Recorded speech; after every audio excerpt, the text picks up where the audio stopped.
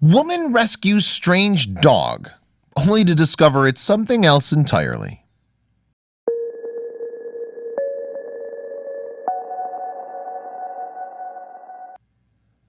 Animals have the ability to surprise us when we least expect it. Even when we think we know our pets better than they know themselves, they reveal something that makes us take pause. One woman in Japan learned this firsthand.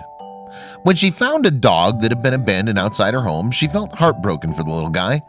But instead of bringing him to a local animal shelter, she decided to adopt him herself.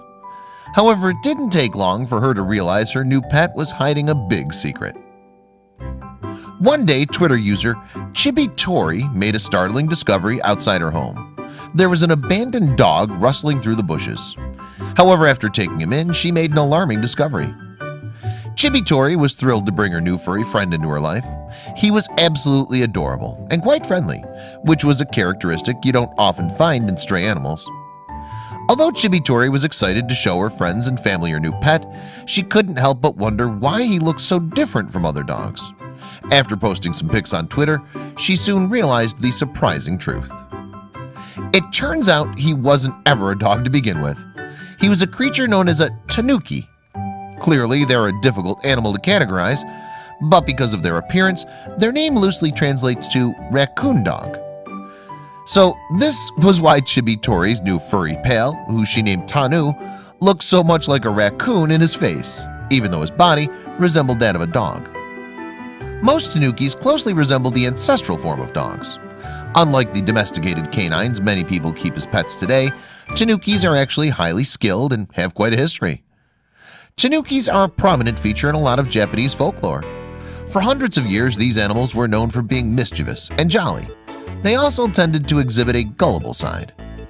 However, Tanu was well behaved and he adjusted quite comfortably to his new surroundings, although he was incredibly curious about everything in his new home.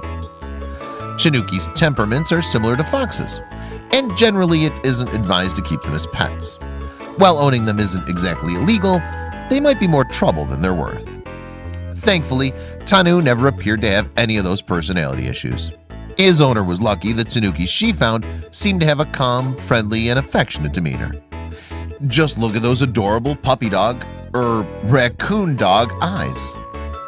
Tanu was extremely lucky that he wasn't spotted by someone with malicious intentions.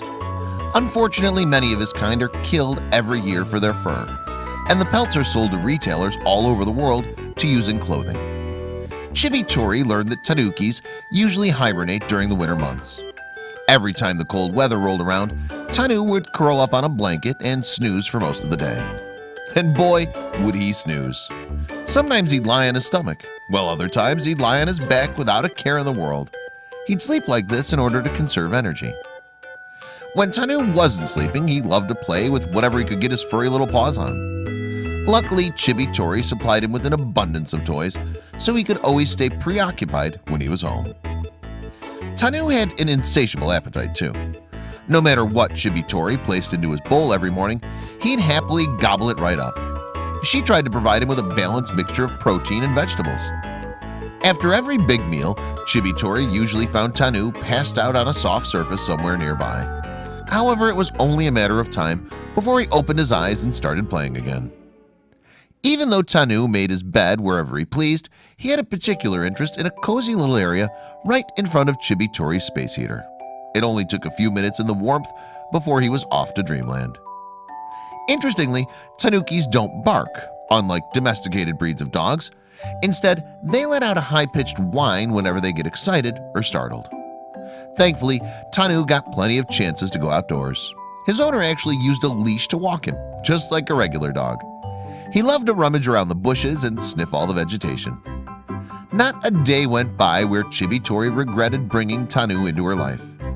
He might not have been a conventional pet, but at least there was never a dull moment when he was around. What a strange species. Either way, Tanu seems like he'd be a great addition to any loving pet owner's home.